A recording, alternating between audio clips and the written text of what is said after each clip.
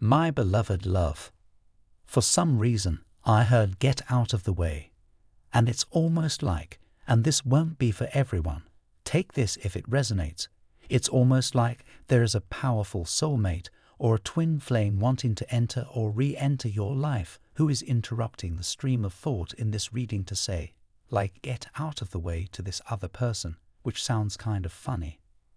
This might actually just be the healed version of this person. Take it how it connects. But for many of you, this is someone who is trying to re enter or enter your life at this, like, higher self level, but they've been blocked because of this lower vibrational person in your life who was underappreciating you.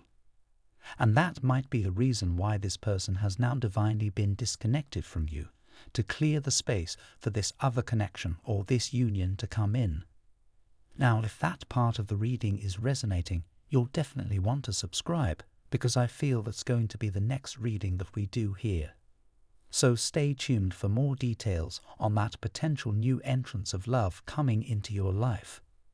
But I am going to go ahead and close the reading here. Thank you so much to all of you for being co creators here, for sharing your own powerful, unique, beautiful soul frequency with the channel. So, I'm getting you didn't even really need to cut them off, but you refocused all of your energy and attention on your inner self, on that self love on listening to your own intuition, staying open, staying present, and this person did not react well to it.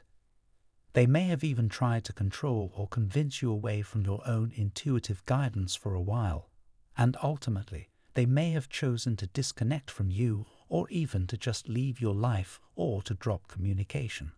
But I'm hearing calling your bluff.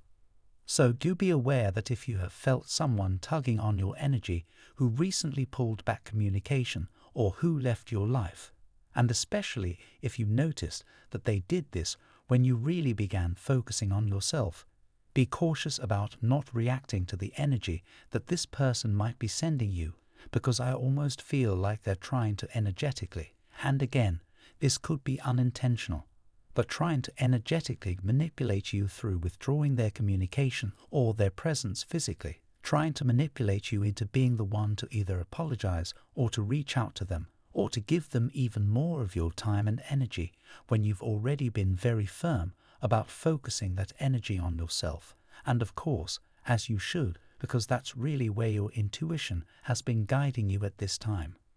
So, I do recommend tuning in on those times and days if it feels aligned for you, because we also have a live chat feature during those events.